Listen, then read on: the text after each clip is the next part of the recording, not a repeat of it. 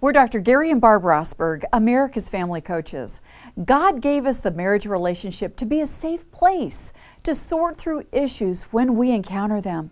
But this kind of deep connection can be intimidating for some spouses. You know, your love, your compassion, and your grace can give your spouse the freedom to get through whatever is keeping him or her from opening up to you. Your unconditional love for your spouse is where it starts.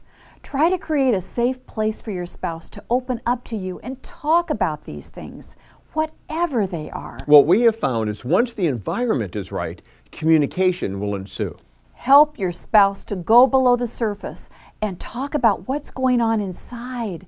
Give him or her the security that you'll walk alongside your spouse no matter where the path leads. Share some of your thoughts and feelings so that your vulnerability opens the door for a vulnerable response.